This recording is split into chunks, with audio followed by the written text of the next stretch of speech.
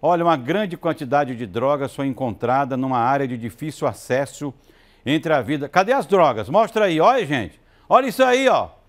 Olha isso aí, ó. Isso é Teresina, viu? Na Vila Polônia, no bairro Mafrense, ali na, na, nessa intersecção dos dois bairros aí, na zona norte da capital. A polícia desenterrou um tambor, aqueles tambor de leite, aqueles que, que tem uma tampa rosqueada. Lotado de maconha e crack. Olha isso aí, gente. Isso aí, isso aí não é, não é, não é café, nem, nem café não? Isso aí é droga. Sabe quanto tem dinheiro bem aí? 2 milhões de reais. 2 milhões de reais. É uma droga que vai para a casa do seu filho, que vai para a casa da sua família. Aquele menino que estudava não quer mais ir para o Enem porque agora ele está viciado em crack. Aquele garoto que jogava bola não quer mais jogar bola, não quer mais fazer nada na vida porque ele está usando essa droga bem aí. Estava dentro do, do, do montoro aí enterrado e, e, e o crack estava naquele, botijão de leite, aquele tambor, viu? Eles fazem um buraco no chão e é para o chão que a pessoa vai quando usa droga. Que coisa, gente. Teresina e a polícia descobre um negócio desse. 2 milhões de reais em droga bem ali na Vila Polônia. Mostra aí, Ana Paula. Droga está avaliada em cerca de 2 milhões de reais e foi encontrada em uma região de mata com difícil acesso entre os bairros Mafrense e Vila Polônia, na zona norte de Teresina. A princípio foram 39 embalagens, né? algumas com, com um quilo, que aparentemente tem um quilo, e outra tem um quilo e meio, mais ou menos, é skunk e pasta base. Nós recebemos uma, uma, um informe, fomos verificar essa informação, esse, esse informe que se tornou informação. Né?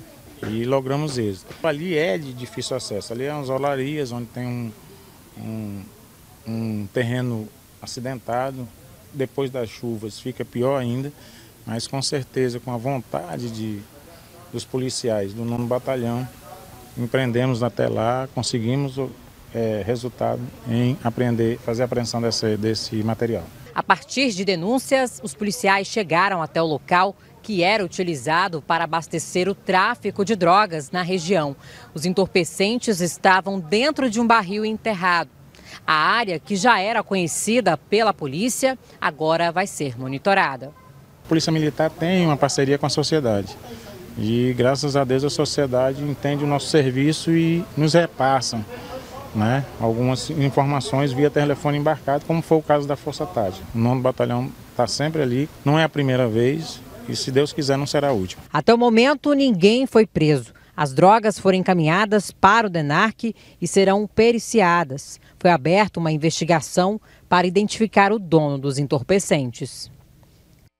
Na história desse estado, as polícias civil e militar tiveram tanto apoio popular tanta ajuda da sociedade para combater o crime. É impressionante a, a forma como a segurança pública tratada no Piauí é destaque nacional. O governo do estado do Piauí tem 90% de aprovação do povo e um dos pontos é a segurança. A segurança mudou, botaram moral na segurança pública, respeitaram o policial, o delegado, o militar, deram a ele condições de mostrar serviço e a coisa está funcionando. Você vai daqui para qualquer cidade do Piauí, é, é viatura para cima e para baixo. Sabe quem é que não gosta? Ah, a polícia foi lá em Campo Maior e prendeu umas motos lá. Ah, isso é perseguição política. Quer dizer, a moto não tinha documento, a moto era roubada, estava adulterada, a pessoa andava levantando o pneu da moto, sem documento, sem capacete, e acha ruim quando a polícia faz isso. Na hora que roubam a moto, aí corre para a polícia. Doutor, roubaram minha moto. Acho minha moto. Quer dizer, a lei está sendo respeitada. Piauí é um estado que hoje tem 90% de aprovação na gestão pública do Piauí. E um dos pontos, segurança pública. Nós temos hoje à frente da segurança pública um cidadão decente, honrado, correto. Um homem que veio fazer serviço, novo, inteligente, não é ligado a essas coisas do passado, não. Chico Lucas. Chico Lucas é um, é um cara excepcional. Presidente da OAB, policial rodoviário federal e um, um executivo de mão cheia, um cidadão. Vá lá na Secretaria de Segurança conhecer para você ver lá. Ah, hoje o sistema de inteligência do Piauí, Rio de Janeiro não amarra nem a chuteira. Então está funcionando.